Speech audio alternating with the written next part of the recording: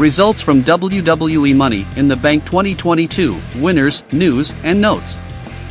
Info 366 provides significant trending stories from business, technology, movies, sports, videos, photos, and many more every day. So subscribe now and turn on the notification bell for regular updates. Give it a like and leave your thoughts in the comments section below. Alright, let's get started with today's story.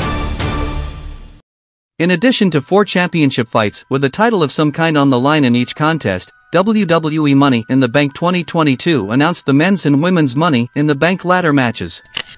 WWE's top championship would not be at stake since Roman Reigns, the undisputed WWE Universal Champion, missed the pay-per-view for the second week in a row due to his new part-time schedule. Since WrestleMania 38, Reigns has not successfully defended either of his world titles on pay-per-view. Allegiant Stadium in Las Vegas, Nevada, was initially supposed to be the source of money in the Bank 2022. The event was relocated to the more intimate, smaller MGM Grand Garden Arena due to insufficient ticket sales for the large arena. The current AEW World Champion and former WWE superstar CM Punk did not miss an occasion to mock WWE for its humiliating shift to a smaller stadium. As of this writing, the event's new venue is almost sold out.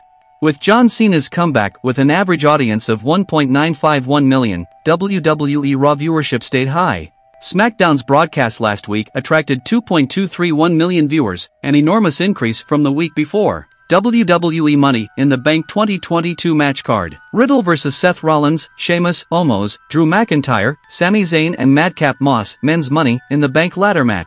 Becky Lynch vs. Asuka, Liv Morgan, Lacey Evans, Shotzi, Alexa Bliss, and Raquel Rodriguez Women's Money in the Bank Ladder match. Bobby Lashley vs. Theory WWE United States Championship. The Street Profits vs. The Usos Undisputed WWE Tag Team Championship. Ronda Rousey vs. Natalya SmackDown Women's Championship. Bianca Belair vs. Carmella Raw Women's Championship.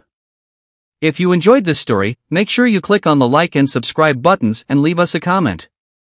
Thanks for watching.